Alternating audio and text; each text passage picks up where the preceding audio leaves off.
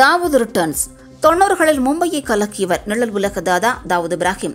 மராட்டிய மாநிலம் ரத்னகிரி மாவட்டத்தில் பிறந்தவர் தாவூத் இப்ராஹிம். இவர் தனது பதினான்கு வயதில் வழிப்பறையை ஆரம்பித்தார். பின் போதைப்பொருள் மற்றும் ஆழ்கடத்தல் ஆகியவற்றில் ஈடுபட்டு வந்தவர் நாளடைவில் சர்வதேச அளவில் பயங்கரவாத செயல்களில் ஈடுபட்டார். கடந்த ஆயிரத்தி தொள்ளாயிரத்தி தொன்னூற்றி மூன்றாம் ஆண்டில் மும்பையில் நடந்த தொடர் குண்டு வெடிப்பு சம்பவத்துக்கு மூளையாக செயல்பட்டவர். சர்வதேச அளவில் தேடப்படும் குற்றவாளியாக அறிவிக்கப்பட்டார். ஆனால் பாகிஸ்தானின் கராச்சி நகரில் வசிக்கும் தாவூத் இப்ராஹிமை ஒப்படைக்க இந்தியா தொடர்ந்து வலியுறுத்தி வருகிறது. தாவூத் தங்கள் நாட்டில் இல்லை என பாகிஸ்தான் திட்டவட்டமாக மறுத்து வருகிறது. இந்நிலையில் நம் நாட்டில் உள்ள மிக முக்கியமான அரசியல் தலைவர்கள் மற்றும் தொழிலதிபர்களை கொல்ல சிறப்பு பிரிவு ஒன்றை தாவூத் இப்ராஹிம் அமைத்துள்ளதாக தேசிய புலனாய்வு அமைப்புக்கு தகவல் கிடைத்துள்ளது. இதுகுறித்து மத்திய உள்துறை அமைச்சக உயர் அதிகாரி ஒருவர் கூறுகையில் தாவூத் இப்ராஹிம் மற்றும் அவருடைய கூட்டாளிகள் பயங்கரவாத செயல்களுக்கு நிதி உதவி அளிப்பதில் நடந்துள்ள மோசடிகள் தொடர்பாக அமலாக்கத்துறை சமீபத்தில் வழக்கு பதிவு செய்துள்ளது.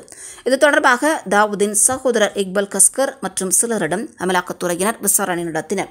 இந்த விசாரணைகள் மற்றும் ஏற்கனவே திரட்டப்பட்ட தகவல்களின் அடிப்படையில் தாவூத் இப்ராஹிம் உள்ளிட்டோர் மீது என்ஐஏ சமீபத்தில் எஃப்ஐஆர் எனப்படும் முதல் தகவல் அறிக்கையை பதிவு செய்துள்ளது. அதன்படி தலைமறைவாக உள்ள பயங்கரவாதி தாவூத் இப்ராஹிம் நம் நாட்டின் மிக முக்கிய அரசியல் தலைவர்களையும் தொழிலதிபர்களையும் கொல்ல திட்டமிட்டுள்ளார்.